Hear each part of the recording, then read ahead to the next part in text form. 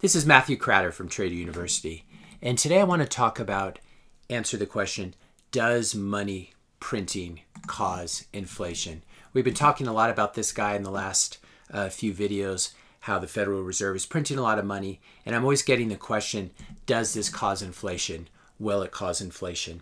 If you're interested in learning how the economy actually works, how inflation works, what is actually going to happen to the stock market, be sure to hit that subscribe button.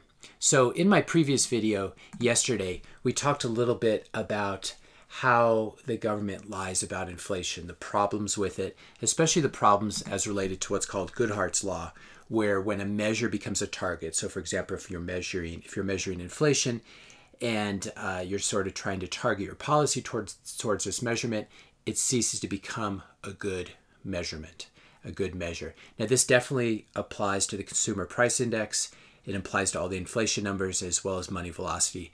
So if you want that take on it, be sure to watch yesterday's video, which I'll link to uh, link to below. But for the purposes of this video, we are going to assume that we can basically trust these government statistics, even though there are many, many problems with them. So what is money printing? The way it's really been done in the US over the last 11 years is the Federal Reserve prints new money they increase the money supply. This is the M2 money stock. And they use it to buy assets and put them on their balance sheet. So whenever you see these spikes on this chart, this is the Federal Reserve's assets going up. They've really spiked this year. This is quantitative easing. This is money printing, where we print more money, where the Federal Reserve creates money out of nowhere and uses it to buy treasuries, mortgage backed securities, corporate bonds, and in the case of Japan, they've actually even been buying stocks. These are the relative numbers. So the first QE happened right after Lehman Brothers failed in September of 2008. And so the first quantitative easing, the Fed printed 1.3 trillion and used it to buy mostly mortgage backs and treasuries to sort of reca- recapitalize the US banking system. That's what's called Q- QE1, quantitative easing 1. And again, quantitative easing is you just print new money and use it to buy assets and hold them on the central bank balance sheet. This was really pioneered by Japan. Then we had another round of quantitative easing called QE2 in 2010 to 2011, another one in uh, after the European debt crisis uh, in uh, in uh, 2012 to 2014 that was 1.7 trillion, and then this year it really began with the repo crisis of the third quarter of 2019, which I've talked about in previous videos but for, that's when uh, this this current QE, people call it QE infinity, uh, started. And basically, the Fed has said they're going to do whatever it takes. So far, their balance sheet has grown by 3.3 trillion. So you can see this is uh, much, much more than any of the, the, the previous. We're really in unprecedented uh, territory here. And you can really see it from the, the Fed's balance sheet uh, spiking, especially if we look over the last five years or we look over the last one year. The number is just enormous. We've gone from 4 trillion to over 7 trillion on the balance sheet. Now, what has happened to inflation over that period of time? Because we're trying to answer the question is money printing inflationary?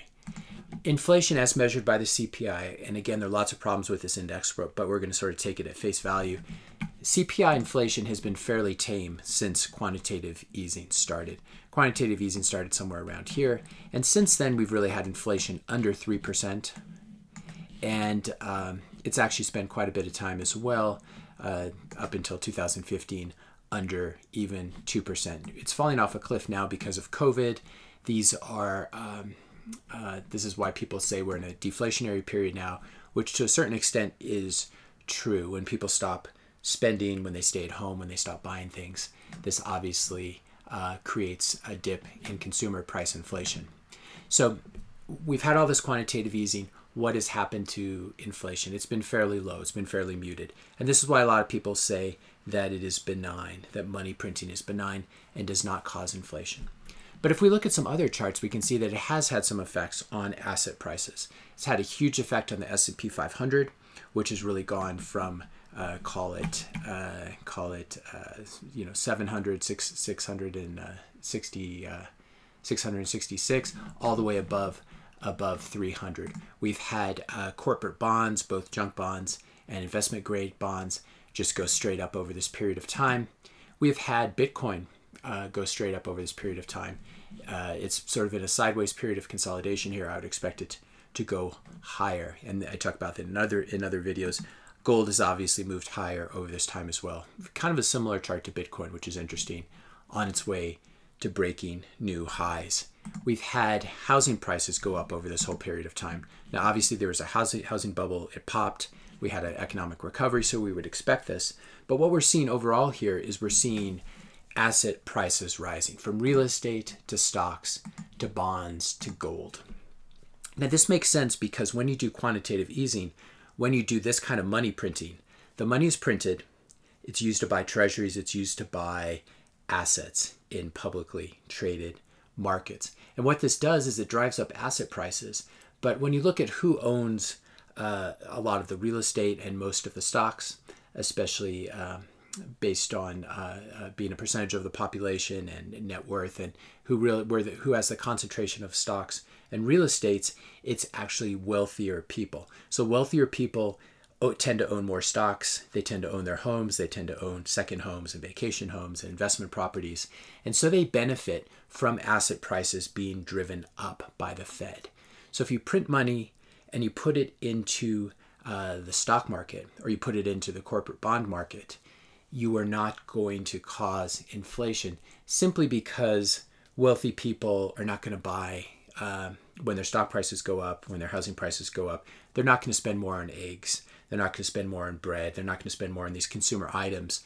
What what wealthy people tend to do is the more money they get, the more stocks they buy, the more their wealth is concentrated in assets. And because they tend not to, if you have $100 billion, there's only so much you can spend. You can, um, and you tend to, to spend it on investment items like maybe a, a nice house in Hawaii on the beach, etc. But you're not going to be driving up consumer prices with it. You don't need to really buy anything else. You're already very wealthy. And so what happens is the velocity of money goes down. All this money gets printed. The velocity of money is basically just how many times a dollar is spent in a year. It's essentially GDP divided by the money supply. We'll talk a little bit about that in a minute, the quantity theory of money. But we can basically see that over the last 10 years, monetary velocity, the velocity of the M2 money stock, has gone off a cliff. It's just gone down and down and down. Now, this makes sense because the money that's being printed is ending up in rich people's brokerage accounts and in their houses. It's not really circulating through the economy. Again, there, there are there are a lot of problems with with all of these measurements because of the Goodhart Goodhart's law. But just taking them at face value, this is what we would expect if the money was not being circulated through the economy. It was basically being concentrated in the hands of wealthy people who are getting richer and richer because of the central bank policy. And again, the central bank is run by ex private equity investment banker types like Jerome Powell, who only care about the rich people. And their policies, for the most part, have just benefited wealthy people over the last 10 years. So, money printing has not caused inflation because of where it's been injected in the economy. It's been injected into asset prices. But this may be beginning to change. So, just briefly, uh, I wanted to show you guys the quantity theory of money equation, which is just the money supply times monetary velocity is equal to nominal GDP, uh, which is basically all the goods and services that are produced every year in the US. Nominal GDP can be broken down into some inflation rate times real GDP, or uh, kind of inflation adjusted GDP. If you took Econ 1, you probably remember this equation. There are various versions of it, but it's uh, sort of an identity, sort of by definition. And as such, it's not necessarily debatable. debatable. But one way to look at this is if uh, if the money goes into asset prices, as we said, what you would expect is the money supply goes up, so M goes up, V goes down, and as a result, you don't get P going up, you don't get inflation going up.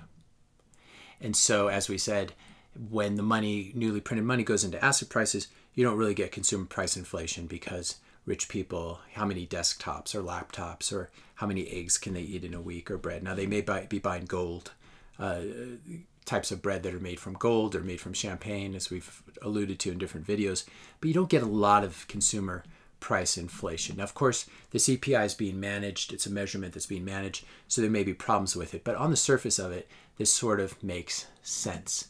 And so this is quantitative easing. This is where you inject money uh, from the central bank and you basically give it to wealthy people. It causes a lot of wealth inequality and it causes uh, contributes to the sort of social unrest we've been seeing in the last year. Now, what happens if instead of printing the money and putting it into asset prices, you actually send checks to people? Now, this is often called UBI, Universal Basic Income. Some people call it helicopter money. Uh, you could you could say quantitative easing is helicopter money for the rich.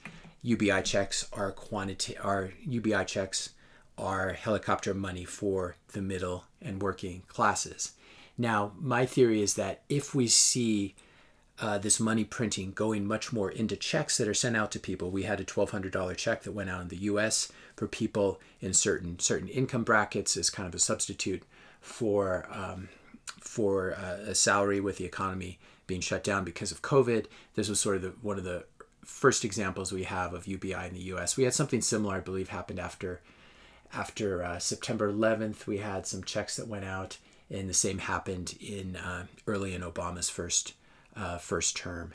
Uh, but basically, we're moving much more toward UP, UBI or helicopter money for the working class and the middle class simply because if we continue to prop up asset prices, it creates a lot of wealth inequality a lot of social tension. And so, what I would expect is that the more the Fed prints money now, the more it's going to end up, especially if we really start UBI at the national level in the US, where every household, uh, say every household below $100,000 income, gets a $2,000 check per month.